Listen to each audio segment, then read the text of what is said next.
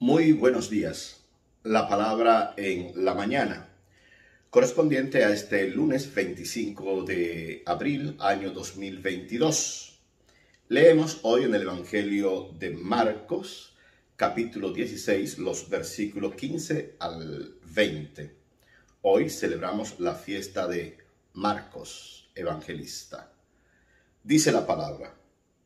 En aquel tiempo se apareció Jesús a los once y les dijo, vayan por todo el mundo proclamando la buena noticia a toda la humanidad. Quien crea y se bautice se salvará, quien no crea se condenará. A los creyentes acompañarán estas señales. En mi nombre expulsarán demonios, hablarán lenguas nuevas, agarrarán serpientes si beben algún veneno no les hará daño. Pondrán las manos sobre los enfermos y les sanarán. El Señor Jesús, después de hablar con ellos, fue llevado al cielo y se sentó a la derecha de Dios.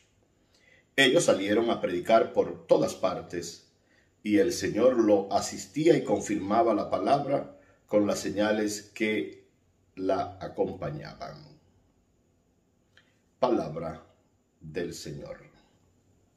Celebramos hoy al queridísimo Marcos, evangelista, el querido Marcos, queridísimo, entrañísimo Marcos, el Marcos compañero de camino de Pablo, el Marcos eh, primo de Bernabé, el Marcos que tuvo problema con Pablo, Pablo después no lo quiso en la misión, hubo un encontronazo que se cuenta en Hechos de los Apóstoles, pero después hubo una reconciliación y el Marcos Evangelista, que también Pedro llamará en su carta mi entrañable hijo Marco, mi hijo Marcos, dirá el querido Pedro. Y el Marco, que es, posiblemente sería la, la persona que escribiría aquello que nosotros conocemos de Pedro. Digamos que sería como la especie de, de secretario. Algunos pensarán, posiblemente este Marco sería el que salió, que en su evangelio, salió huyendo cuando arrestaron a Jesús por allá, por el monte, y salió desnudo.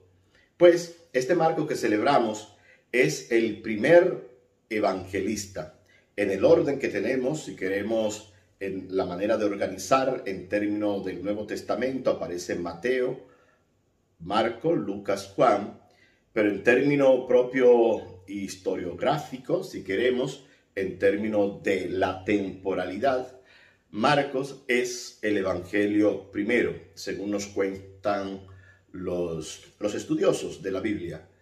Hoy es un lindo día, este 25 de abril, para tener presente a Marcos en esos 16 capítulos brevísimo, donde se va a contar el accionar constante de Jesús. Y yo he dicho en muchas ocasiones que si uno se le dé un tirón al Evangelio de Marcos, uno terminaría cansado de ver a Jesús actuando tanto de la praxis propia del maestro de Nazaret.